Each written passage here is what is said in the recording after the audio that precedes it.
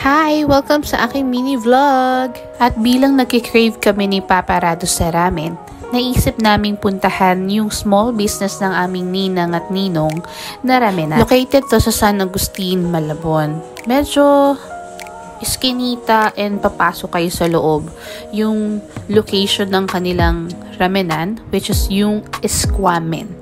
And based sa explanation nila, yung salitang Esquamen ay nagsimula sa squatter at ramen.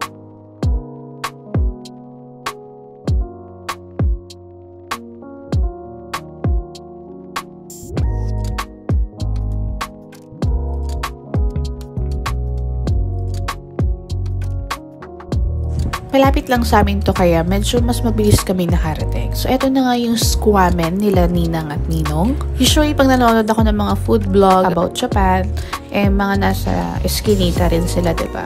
So, ayan, umorder kami ng gyoza, milk tea, iced coffee, tonkotsu ramen, and tantanmen ramen.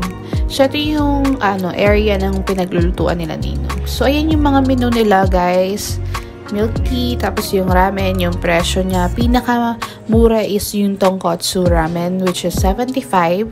Tapos yung kay Paparado naman is Tantan is 135. Believe me, sobrang worth it and super affordable para sa isang ramen. Presyong pangmasa pero alam mong hindi tinipid sa lasa.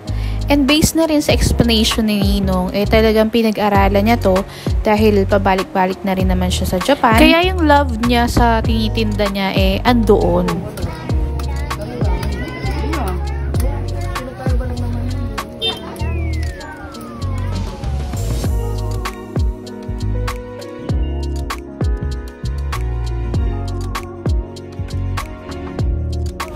Itong gyoza na to is sobrang sarap talaga, promise. And 60 pesos lang to guys, meron ka ng anim na peraso. And then yung ramen, tingnan mo naman yung itsura, sobrang sarap. Tapos ito yung kay Papa, ito yung 135 na tantan men. Yung natitikman ko sa iba, tapos medyo pricey pa, pero ito mura na pero ganun din yung lasa. And tignan mo naman si Raiden, hindi yan basta-basta kumakain pag kumakain kami sa labas. Like, talagang pinipili niya. Pero ayan, kumain siya ng bongga. Nagustuhan niya yung ramen. Sa masarap yung ramen or yung kinakain namin, maganda rin yung chance na to na nagkita si Papa Rado, si Ninong Nelson, and si Ninang Kimberly. Kasi nga, matagal na silang hindi nagkikita. Actually, matagal na silang magkakasama. 2000 something, parang ganun. Dahil sa pagsasayaw yon Manager si Ninong Nelson, tapos dancer si Papa Rado. Habang busy kaming mag-ina sa pagkain ng ramen, ayan, si Ninong, si Ninang, and si Paparado ay nagkukwentuhan. Dahil sobrang sarap na ng gyoza, ayan, umorder pa kami ng pangalawa.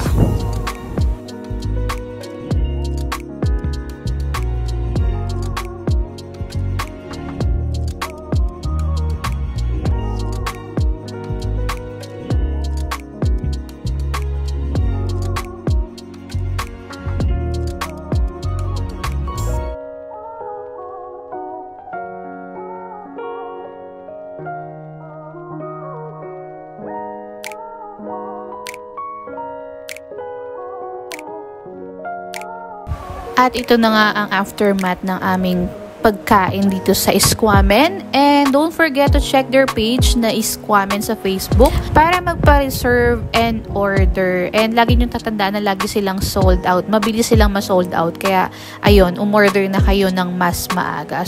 So, yun lang mga mommies. Have a nice day. Bye!